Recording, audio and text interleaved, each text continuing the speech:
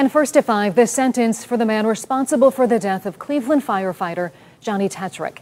Tetrick served with Cleveland Fire for 27 years. He was killed in November during a hit and run on I 90 while responding to an accident. The man found guilty of killing Tetrick spoke before the court today, apologizing for his actions. My actions make my soul shake. This is not one of my proudest moments. Back in November, you may remember I spoke with Tetrick's family just days after he was killed. Tonight, News 5's Bryn Caswell tells us how his family is grateful that justice is finally being served. Cleveland firefighter Johnny Tetrick's life was taken suddenly on November 19, 2022. That pain, almost nine months later, still weighs on the hearts of his three daughters and the firefighters that called him brother.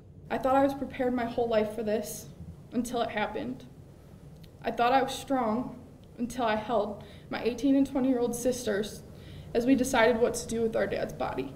The man found guilty of murdering Tetrick is 41 year old Leander Bissell. Tetrick was cleaning up an accident on I 90 when investigators say Bissell recklessly drove through the scene, hit Tetrick, then fled. Tuesday, Cuyahoga County Common Pleas Judge Timothy McCormick sentenced Bissell 16 years to life in prison, with the chance of parole after serving 16 years. McCormick was emotional himself after Tetrick's daughters gave their final remarks. I just hope you can move forward with your life. Remember the good things. Remember the special times you had. Tetrick's daughters are relieved the trial is officially over and their healing journey can finally begin.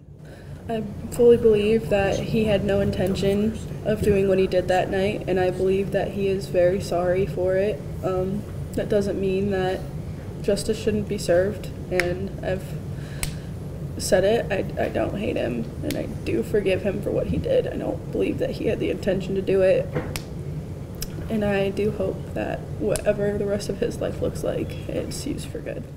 During his sentencing, Bissell addressed the court. He expressed his deepest condolences to the Tetrick family, Cleveland firefighters, and the community. But he stated twice he does not think he's a murderer. A hero dad a family hero, a community hero, is gone. I deeply apologize for my actions. I'll never knowingly bring harm or hurt to anyone. I'm not a violent person. I'm not a murderer. Tetrick was a dedicated firefighter of 27 years, mostly at Station 22 on the city's east side. He loved serving his community. Knowing where our dad is, I think that there's just a, a different piece that comes with that. Uh, we don't question where he's at. We don't question uh, that he wouldn't have wanted it to be anybody else. Tetrick Station 22 brothers filled the courtroom gallery in commemoration. And that's what we're trained to do. We're trained to help people. And Johnny was the pinnacle of that. I'm so glad I knew him.